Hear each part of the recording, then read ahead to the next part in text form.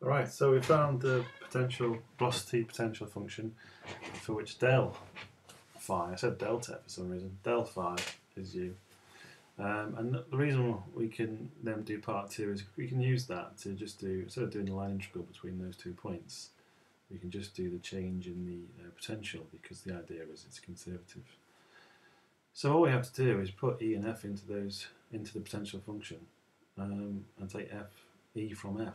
That's it. So we just put the values 0, 0, 1, x, y, z, and 1, 1, 0 into it. So that's the function itself we just figured out. And then uh, there are values. So we're just going to put them in there. So f is going to go into the function.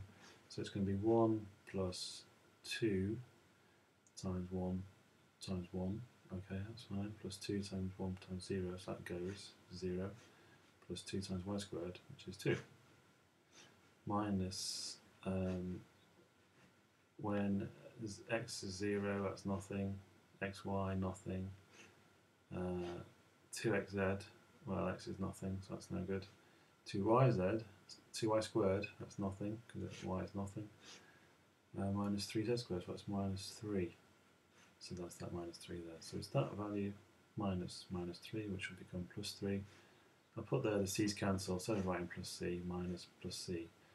That's why these, you don't get a plus c when you integrate with um, in a definite integral with limits because the c's always cancel. So same thing here. I've just not bothered writing it. And then uh, that's going to give us 5 plus 3, so that's 8. And that's the answer.